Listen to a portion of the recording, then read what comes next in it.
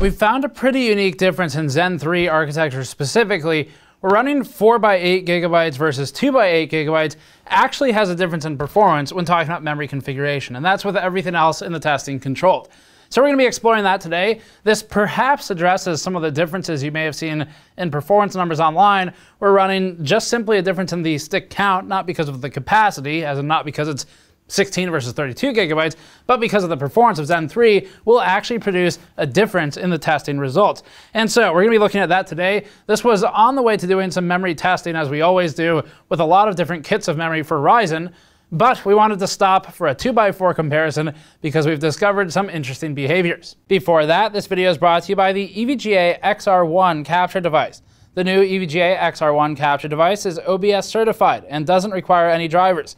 So it's a plug and play solution supporting 1080p 60 capture, and importantly for us or overclockers, it can stream BIOS capture without issue and is more reliable when used with an unstable overclock.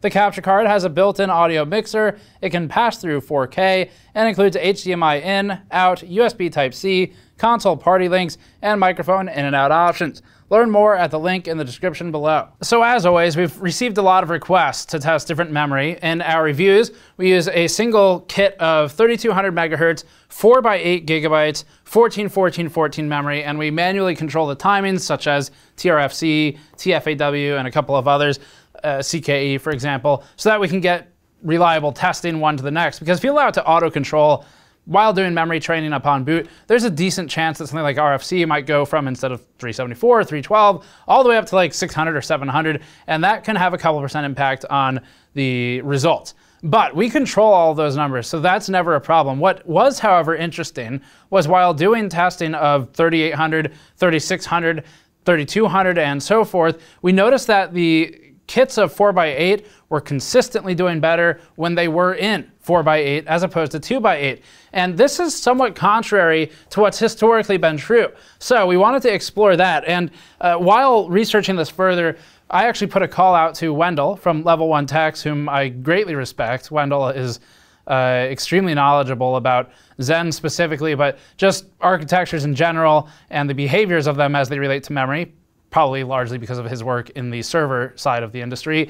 Uh, so we put a call out to him, and he had seen the same behaviors. Uh, we're actually planning to hopefully get him to help explain some of this in a future piece next week. But for now, we want to start with the testing data. So we began testing with a couple of different high frequency kits. We used G.Skill Trident Z DDR4 3866 and we're planning to find the limits of what we could work with and then work down from there. The 3866 megatransfer per second memory in question is a 4x8 gigabyte kit, but for sake of convenience, we initially chose to use only two sticks. None of the gaming tests we run really require 32 gigabytes of memory, but we run a 4x8 gigabyte kit for reviews anyway for a few reasons. As for why we wanted to use the 2x8 instead of 4x8 for the 3866 kit, it was because typically it's easier to get stability with two sticks instead of four. Anyway, the two reasons we use 4x8 always for reviews is first, some of our enterprise tests require more memory, particularly Chromium Code Compile, and they'll page out to storage if you don't have it. Secondly, we prefer to use the same kit of memory across as many tests as possible, including quad-channel HEDT CPUs. The four sticks of 3200 megatransfer per second CL14 DDR4 memory that we use for CPU reviews is compatible with the widest possible range of modern platforms, and historically, we've proven time and again over the last few years, is one of the best performers even compared against 3600 and 3800 megahertz kits. So the 32 kit in our reviews was chosen for all of those reasons. Again, one of the best performers, you're gonna see that again in a moment, but also the most widely compatible with everything we test. So we wanna be able to go all the way back to Zen 1 on AMD, and we wanna go back as far as DDR4 was supported on Intel, and in so doing, we want to maintain the same exact settings. So the goal is a true like-for-like -like comparison one CPU, one generation to the next without changing the memory. Because once you change the memory from 3200 CL14 on older stuff to let's say 38 or 36 on the newer stuff, now you're introducing another variable where it becomes muddy as to how much of a difference is an architectural change, is a frequency or an IPC change, how much is the memory. So that's why we control it at 32 CL14, works with everything. And also the kit we use, Trident ZRGB, is extremely good. It's actually very hard to get 3200 CL14 anymore because it's not really made and it was very very expensive when it was made. We'll cover this more in the full memory benchmarking piece, but briefly, the ideal Ryzen memory setup should be run with a 1 to 1 to 1 ratio between the unified memory controller clock, the Infinity Fabric clock, and the memory clock. The 5600X is the one we chose for testing for this today, and it had difficulty overclocking the Infinity Fabric past 1900 megahertz, so we ran the 3866 kit at 3800 megatransfers per second for testing because it actually performs better that way in one-to-one -one, rather than splitting the IF and the MEM clock. Remember, DDR means double data rate as well, so 3800 megatransfer per second translates to a true memory clock of 1900 megahertz. So with the two sticks of memory running at 3800 megatransfers per second and with F clock and U clock boosted to 1900 megahertz, the results for nearly every game benchmark were actually well below our original 3200 CL14 results. That's what triggered this piece. And then we took three kits of memory. We split them into testing of four by two, so that's six different testing iterations multiplied across all the test passes for each game, for then multiplied against all the games, plus the production test that we added. So was a good amount of testing just for this one anomaly, at least that's what we thought it was when we first got into testing, but it turned out to be a true performance characteristic of Zen 3. Let's get into the testing and the numbers now. We have a bit more explanation to go through in the conclusion to talk about why these numbers are as good as they are with the 4x8 rather than 2x8 setups. And again, it's, it's not to do with 32 versus 16 gigabytes. The games really don't need it, and we'll prove that too. Uh, but we'll explain it a bit more. Let's get into the testing. Just to prove that it's not the capacity difference causing the improvement, here's a look at memory utilization. Over the course of testing, we never exceeded 7,800 megabytes in use. Our minimum test capacity was 16 gigabytes, which is clearly more than enough versus what we're seeing here for a Shadow of the Tomb Raider bench. Shadow of the Tomb Raider had the original review of the R5 5600X at 196 FPS average. That was with 4 by 8 gigabytes of 3200 megahertz 14 14 14 memory, including our manual timings that we use for all reviews. So things like TRFC, TFAW, and a couple of others. This is the same memory that was used on the 10900K and 10600K, also on this chart, and also with every single other CPU tested. It's controlled across all benchmark CPUs equally. The only time we change this is for older parts that can't run DDR4 or have trouble with the timings for some reason. But in this instance, everything works with it.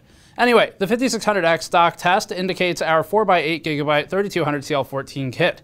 Dropping two of those sticks resulted in a performance decay of 15 FPS average, or an 8% change in frame rate.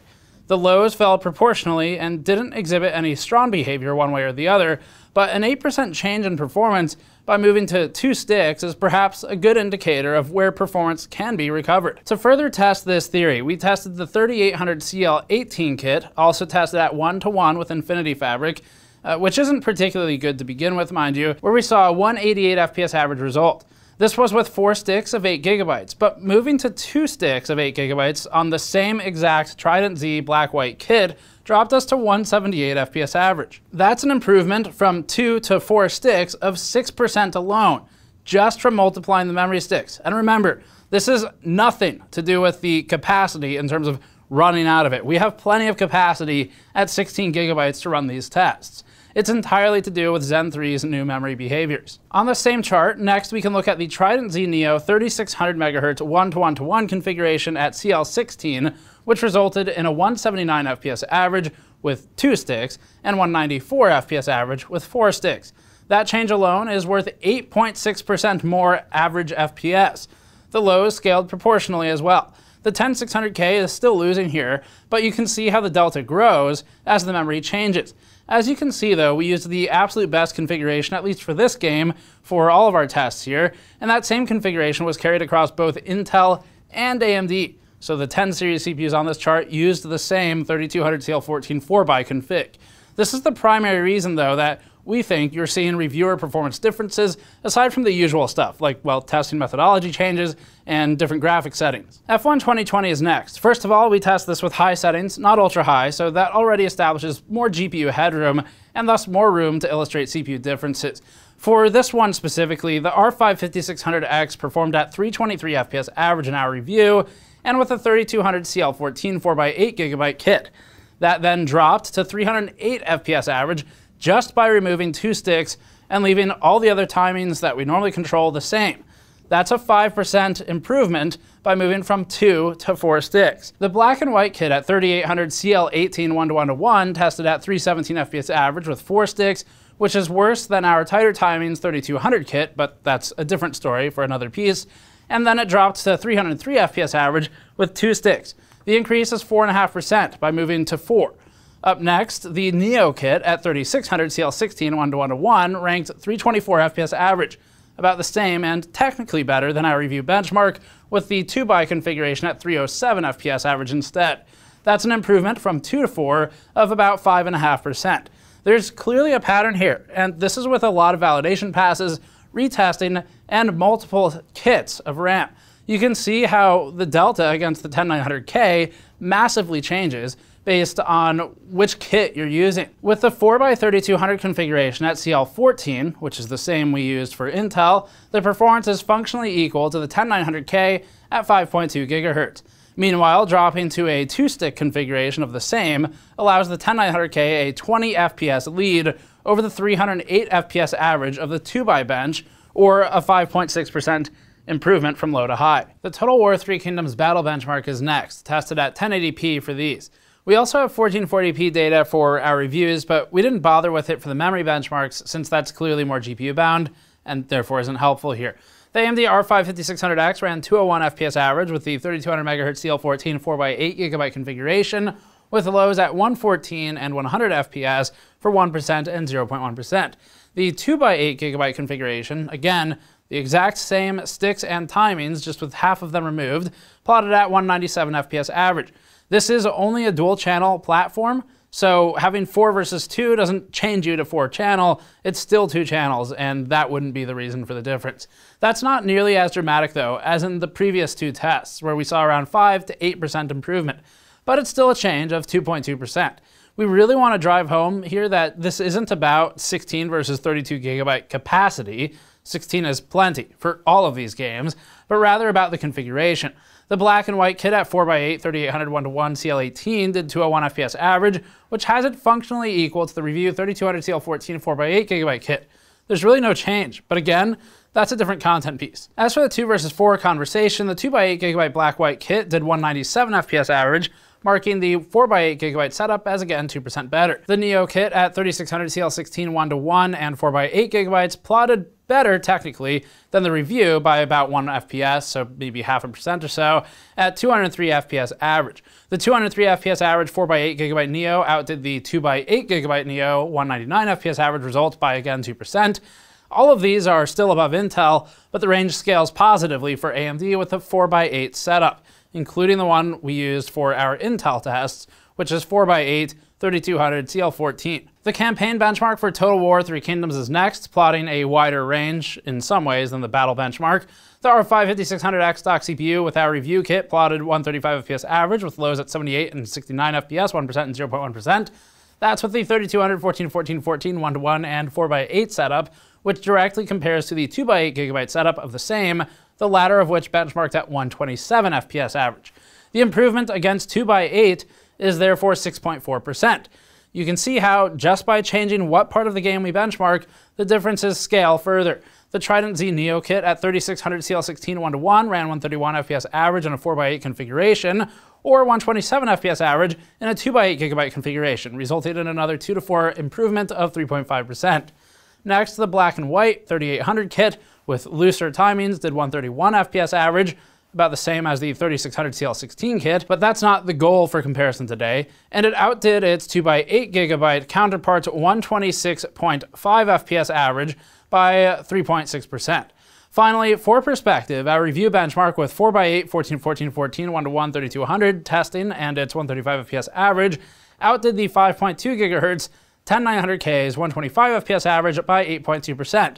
But if we had tested with just two sticks instead, that'd be a 1.8% advantage at 127 FPS average while keeping Intel at 4x8. We've been using the same 4x8 gigabyte Trident Z RGB kit for several years now, and it's for exactly this reason.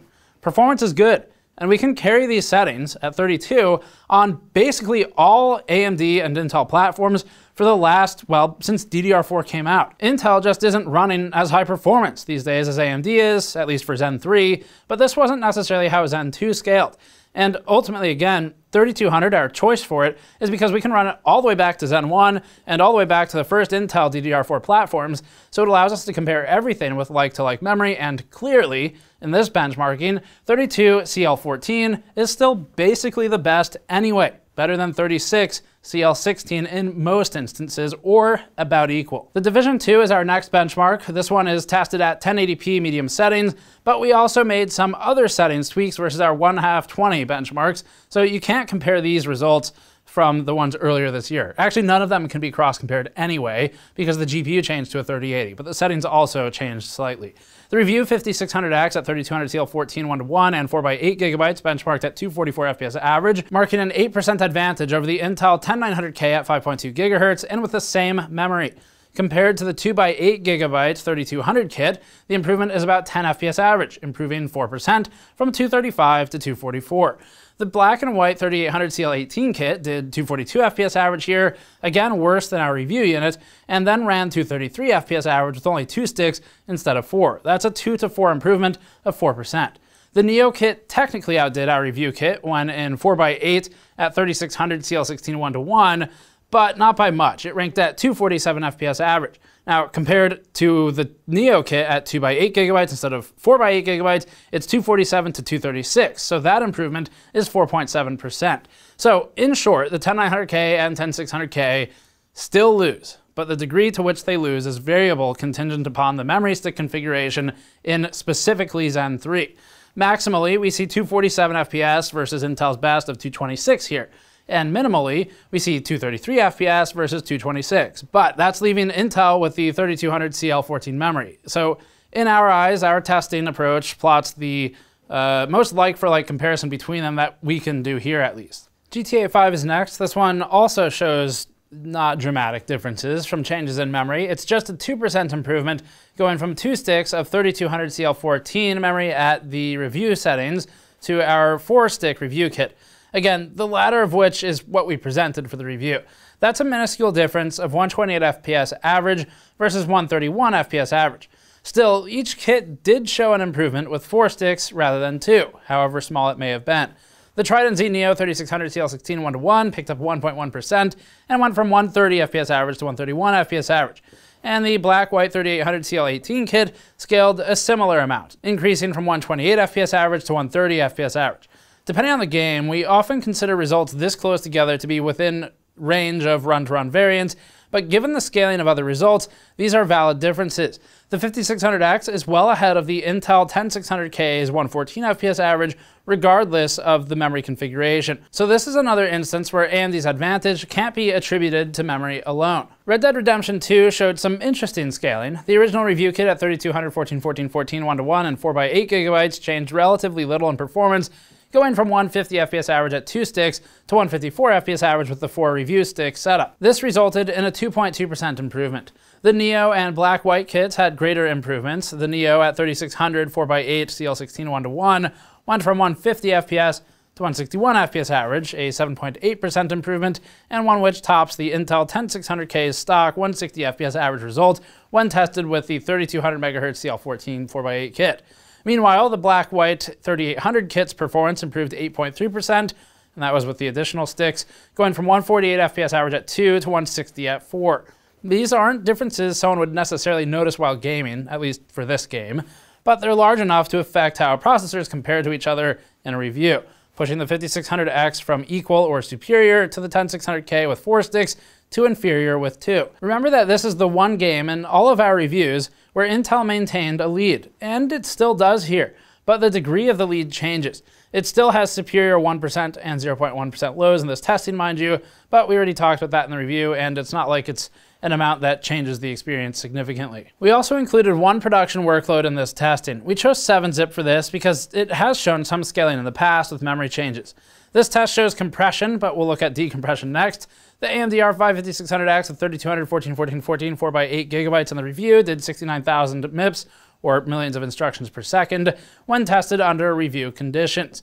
Compared to the 2x8 gigabyte 3200 setup, we fell to 63k MIPS. That's an improvement from 2 to 4 sticks of 10%. That's the largest swing we've seen thus far, uh, and it's followed up by the Trident Z Neo kit at 4x8 gigabytes at 3600 CL16 1 to 1, doing 69,000 MIPS, outpacing the Neo 2x8 kit by 7.5%. The black and white 3800 4x8 kit did 68.3 thousand MIPS, with the 2x8 kit at 63,000 MIPS, a maximum improvement of 8.6%. All these beat the 10600K by a wide margin, but the 5600X with 3200 4x8 encroaches on the 10900K OC more than the others. For 7-zip decompression, the review 5600X at 32, 14, 14, 14, 4x8 did 88,000 MIPS, marking no difference against the other configurations. So it didn't really matter here. You can see that they're all within run-to-run -run variance. Just for comparison, we also ran the 10600K with two sticks of our review kit and the same controlled timings versus the original four. Coming back to Tomb Raider, which produced the largest gaming difference, the original results produced a 165 FPS average for the 10.6, with a two-stick result producing a 160 FPS average. In other words, our review configuration is still the best for both AMD Ryzen and Intel CPU representation in at least these games. They were both given their best chance. In F1 2020, the 10600K was within run-to-run -run variance and error, especially considering we're nearing 300 FPS average. There was no difference between the 2x and 4x configurations for the 10600K here. So then, clearly, running the 4x8 3200 kit was one of the best performers. 4x8 36 was also pretty good in some of them. Sometimes it outpaced 32, not by an amount that really mattered with the timings used, but you could certainly get really high in memory and tune it further if you wanted to. And if you can get 4,000 and achieve a 2,000 F clock, then awesome, you're probably in good shape there, but we couldn't get to 2,000 F clock. So anyway, uh, timings obviously matter. That's a completely different content piece that we are also working on. But the one here today shows that 4x8 for real has an impact where you can improve upwards of 8% in games, sometimes 9 to 10% in some more memory bandwidth sensitive production workloads. So all of this is to say that even though we more uh, manually control the timings for our 3200 review kit, even allowing some more auto timing control in the other kits wasn't enough to explain the differences we saw, and it came down to the amount of sticks in the system. So that sanity check of installing the review kit and removing two sticks and then controlling the timings the exact same way we do for the reviews, that's what proved the difference of 4x8 being better here. Logically, running two sticks should be more stable and equal, if not better in performance, to four on a lot of the previous platforms. These CPUs aren't capable of running memory in quad channel, and using only two sticks still allows for dual channel.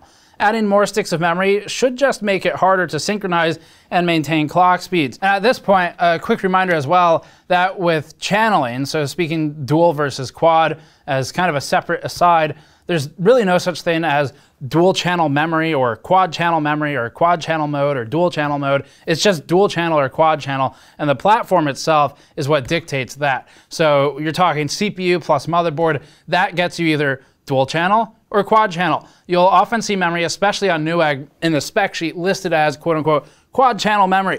And all that really means is they're selling you four sticks. It doesn't mean that it is specifically compatible to be run with a 4x config, whereas a 2x config would only ever be able to do dual channel. That's not how it works. If you buy two sets of two sticks of quote unquote dual channel memory uh, on Newegg, then you could still run it in a quad channel platform and get four channels. So just a, a quick reminder on that because the specs listings on retail sites are often a bit misleading on how they present the channeling of the memory because it doesn't really have any. It's just the platform, and then the memory is a number of sticks. So after all this testing, we called Wendell from Level 1 Techs, and we asked if he'd seen anything similar, and you should subscribe to his channel if you're not already. He immediately said yes. In Wendell's experience, behavior has changed in Ryzen 5000. Four sticks of single rank 8 gigabyte memory performs better than two. And two sticks of single rank 16 gigabytes memory performs best of all in Wendell's experience.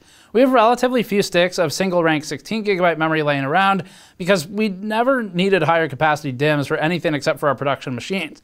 For now, though, this data shows the 4x8 and 2x8 comparisons. And our hope is, too, to talk to Wendell some more about all this data after we publish this video so he can check it out. Uh, we'll talk with him behind the scenes about the exact maybe underlying reasons as to why performance differences are emerging contingent upon the memory config. Uh, he had mentioned interleaving a few times as a keyword, but we'll talk with him more about that and maybe get a, a clip from Wendell that we can publish in a news video or a follow-up of some kind to help further explore the why and not just the results. That's it for now though. As always, if you wonder why reviews get different numbers between the reviews, really, first of all, what matters is not the FPS number, it's the percent differences that they're seeing. If the percent differences are different, the things to look at would be like, well, one, stop comparing things cross-site, but two, the game settings can be different. You might be more GPU or CPU bound in one than the other. The memory configuration clearly can have a very big impact. That's worth about 8% in some of these games we tested, where if someone did the same test we did precisely using our same methodology, using the same people, but with two instead of four sticks, that would have produced a difference.